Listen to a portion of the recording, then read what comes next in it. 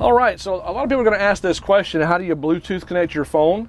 Uh, I want to show you those steps real quick here on the all new 2021 Yamaha 255 FSH E-Series, FSH Sport. I've got a relatively new Android, so I'm going to turn my Bluetooth on. Just pop it up here, find Bluetooth, make sure it's in the discovery mode, so I'll switch it off, switch it back on. Now bring your camera in tight here. I'm going to click on the audio feature. See this audio function? Click on that. Once we've got the audio selected, we're going to click on where it says plus, add device. Click on add device, put it in pairing mode. We've already done that. And now I'm going to look for Will's Galaxy Note 20. Click on that. It says polling. I'm probably going to be looking for something on my phone. There it is.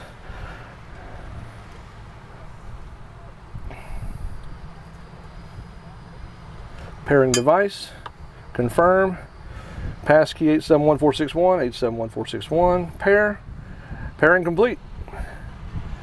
Let's check out our tunes. We have our selection, choose Bluetooth, I'm already on. Click my video player or music player, crank it up.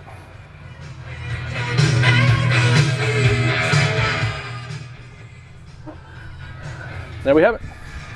All wired up, ready to go. I have not found, someone asked me the other day, did we have a, uh, a way to change the EQ? I haven't found out the EQ yet. Maybe I can find that in another video, but um, at least you have the ability to go in and choose your source, get your music playing. Maybe you can change, choose the EQ from within the uh, video or the audio player. So anyway, well, that's how you set up your Bluetooth on the all new 255 FSH. Probably gonna be the same exact setup on any of the 25 foot FSH series models. So uh, more details, hit us up below, comment below. If you like what you've seen on this video, click the subscribe button, click the notification button.